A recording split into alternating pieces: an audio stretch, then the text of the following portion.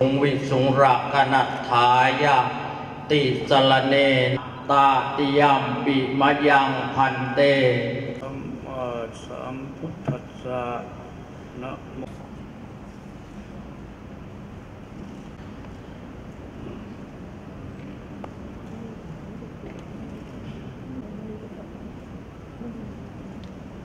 ที่มาชุมนุมพร้อมกันณมณฑลพิธีแห่งนี้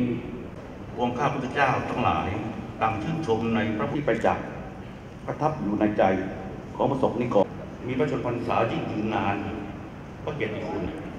ตลอดวิรัติการเถิด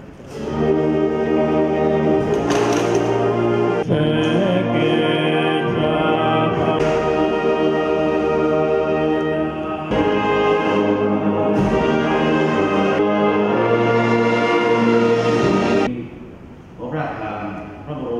มราช ขอถวายสัตย์ปฏิญาณว่า ขอถวายสัตย์ปฏิญาณว่า การต่อต้านการทุจริต การต่อต้านการทุจริต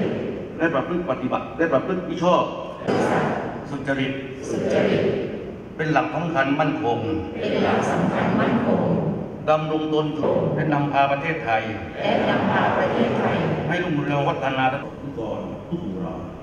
ที่มาชุมนุม